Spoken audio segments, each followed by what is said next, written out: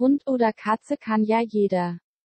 Lisha, 34 und Lou 31 haben ihre Familie vergrößert, und zwar haben die zwei jetzt einen Babypapagei zu sich geholt.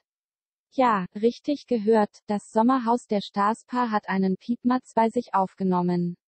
Die YouTuber ziehen ihn jetzt mit der Hand groß, wie sie den Kleinen gefunden haben und ob er sich in seinem neuen Zuhause bereits eingelebt hat, zeigen wir im Video. Diese Bindung ist einmalig.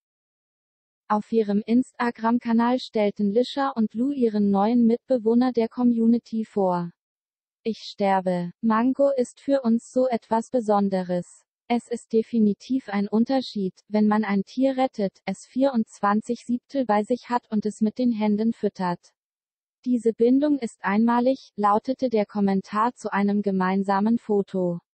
Mango scheint sich bei seinen Pflegeeltern wohl zu fühlen und macht den Anschein, immer fitter zu werden. Wir lieben es zu sehen, wie er immer mutiger und stärker wird.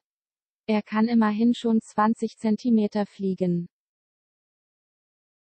Das müssen Papageibesitzer wissen.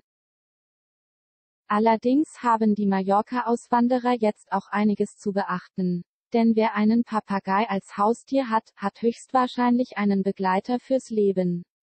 Die Tiere können nämlich bis zu 100 Jahre alt werden und binden sich schnell an den Besitzer. Außerdem sollten sie niemals alleine gehalten werden und brauchen einen gefiederten Partner an ihrer Seite. Und darum werden sich Lisha und Lou in der kommenden Woche kümmern. Sie haben eine Züchterin gefunden und werden Mango sogar mitnehmen, damit er sich seinen Freund fürs Leben selbst aussuchen kann.